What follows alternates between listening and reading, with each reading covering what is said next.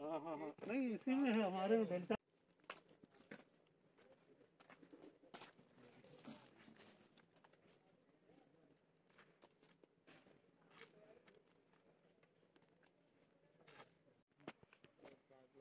তাহলে কি তাহলে কিন্তু চলতো না এনে ভালো করে জানি তাহলে কিন্তু চলবো তো হান্ড্রেড পার্সেন্ট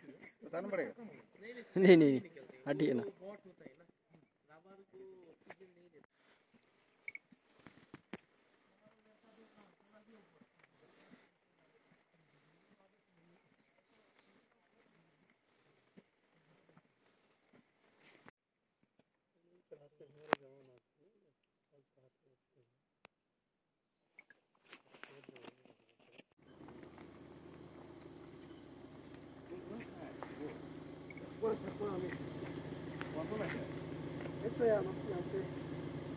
kita. Kita इधर मत बनाओ मैं बता दूँगा नहीं इधर बनाएगा कोई चीज़ नहीं होगा, क्या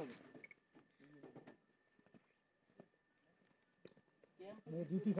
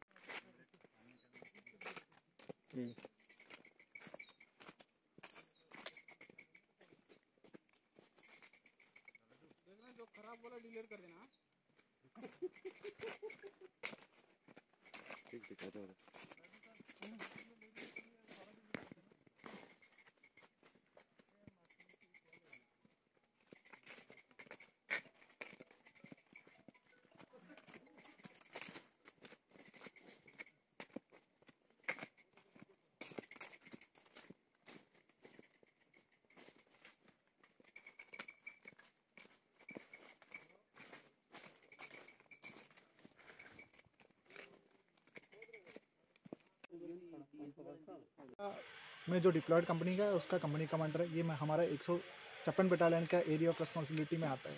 ये हमारा बटालियन का 50 किलोमीटर का जो इंटरनेशनल बॉर्डर है, बांग्लादेश के साथ शहर और है, उसी के साथ ड्यूटी लगती है। उसी के हमारे दो प्रकार का ड्यूटी है। एक तो ट्रांस बॉर्डर क्रिमिनल्स को रोकना और दूसरा है काउंटर इंसर्जेंसी ऑपरेशन का। तो दोनों जगह हमारा जो कंपनियाँ हैं, जो डिप्लॉयड है।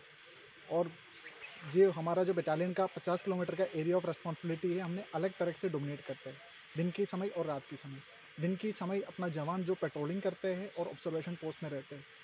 और जो काउंटर इंसर्जेंसी जो कंपनीज़ डिप्लॉयड है, उन्हीं का अलग से पेट्रोलिंग होता है और अलग स्पेशल ऑपरेशन लॉन्च होता है। और रात के समय हमारा डोमिनेशन के लिए है, अलग से एम्बुश लगता है और स्पेशल ऑपरेशन लॉन्च होता है और एरिया डोमिनेशन पेट्रोल होता है। और हमारा जो कंपनियों में जो नफरी है, उन्हीं का तकरीबन ट्रेन नर्सिंग असिस्टेंट है तो मेडिकल फैसिलिटीज़ भी हो जाते हैं और बटालियन की तरफ़ से राशन आ जाता है ड्राई राशन और fresh ration ration local market से ख़रीदना पड़ता है।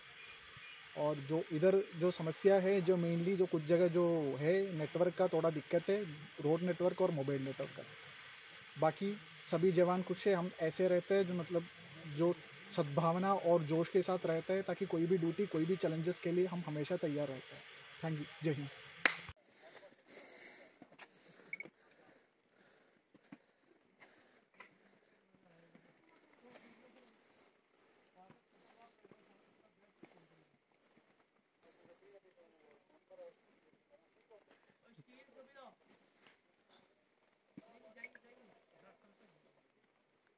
বিএসএফের কি টুপি হইতাম বিএসএফের কি টুপি হইতাম দিতাম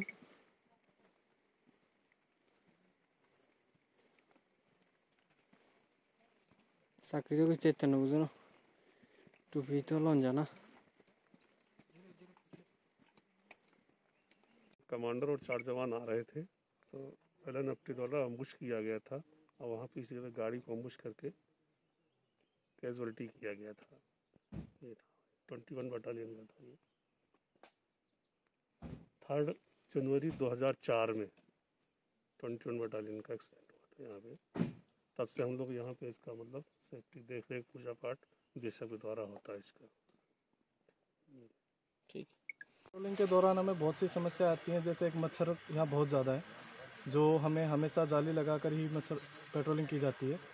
जिसके कारण हमें काफ़ी बार सांस लेने में या जो चढ़ाई का रास्ता उसमें चढ़ने में बहुत तकलीफ़ आती है। लेकिन फिर भी जो हमारे नर्सिंग असिस्टेंट होते हैं, जो हमारे स्टाफ होते हैं, वो सभी हमारा सपोर्ट करते हैं। कोई भी परेशानी होने से हमें जल्द से जल्द नीचे भेज दिया जाता है। बाकी यहाँ पे स्नैक बाइट का बहुत ज़्यादा खतरा है। स्नैक बाइट, इसके कारण पेट्रोलिंग के दौरान बहुत बार हमें स्नैक्स मिलते हैं, जिससे हमें बचकर निकलना पड़ता है। बाकी यहाँ पे मार्च से लेकर सितंबर तक बहुत ज़्यादा बरसात होती है, जिसके कारण फिसलन बहुत ज़्यादा होती है, जिसमें काफ़ी बार बंदे गिर भी जाते हैं। इसी बाकी यहाँ नेटवर्क तो बिल्कुल ना के बराबर है। घर पे बात करना यहाँ बहुत मुश्किल है। नेट बिल, जब भी बात करना होता है, हमारा आधा टाइम तो नेटवर्क कनेक्ट करने में लग जाता है। कभी उस पहाड़ी पे जाओ, कभी उधर जाओ, कभी इधर जाओ। जिसके कारण हम सब ड्यूटी करने के बाद जो हमें रेस्ट का टाइम मिलता है, उसमें हमें काफ़ी परेशानी होती है कि हम रेस्ट उतना नहीं कर पाते जितना हमें मिलता है। हमें इसी कारण यहाँ पे बहुत सारी समस्याएँ हैं। बाकी यहाँ से आना जाना भी बहुत मुश्किल है। मार्च से सितंबर तक ये पूरा रास्ता ख़राब हो जाता है। जगह जगह से रोड टूट जाती है, जिसके कारण पानी भर जाता है, जिसके कारण जो साधन होते हैं, आने जाने के सरकारी साधन, उन्हें आने जाने में बहुत ज़्यादा दिक्कत होती है।